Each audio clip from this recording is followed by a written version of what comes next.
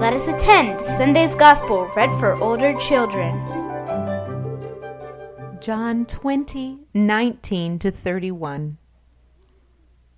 On the evening of that day, the first day of the week, the doors being shut where the disciples were for fear of the Jews, Jesus came and stood among them and said to them, Peace be to you. When he had said this, he showed them his hands and his side. Then the disciples were glad when they saw the Lord. Jesus said to them again, Peace be with you. As the Father has sent me, even so I send you. And when he had said this, he breathed on them and said to them, Receive the Holy Spirit.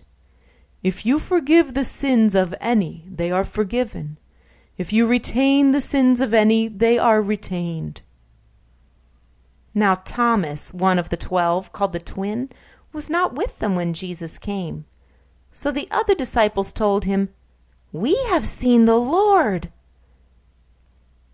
But he said to them, Unless I see in his hands the print of the nails, and place my finger in the mark of the nails, and place my hand in his side, I will not believe.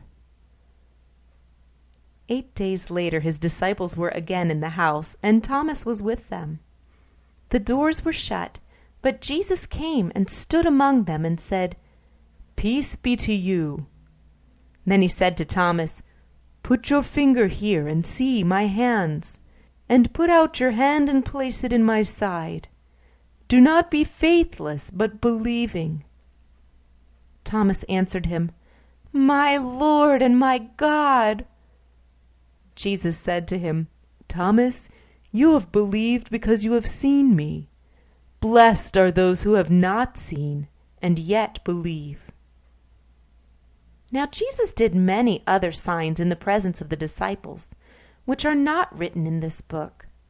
But these are written that you may believe that Jesus is the Christ, the Son of God, and that believing you may have life in his name. Glory to thee, O Lord, glory to thee.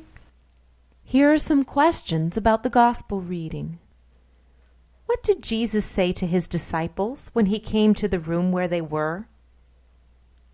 What did he show them?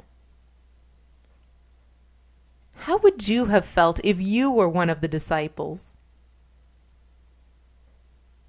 Who missed Jesus' presence that day? When the others told him what he missed, what did he say? What did Jesus tell Thomas to do when he came to his disciples again eight days later? Did Thomas believe then? How do you know? The Gospel says that the things that were written down about Jesus were written so we would believe that Jesus is the Christ and that we may have life in His name. Do you ever struggle with believing? take time to read and be strengthened by the stories and words of Jesus in the Gospels.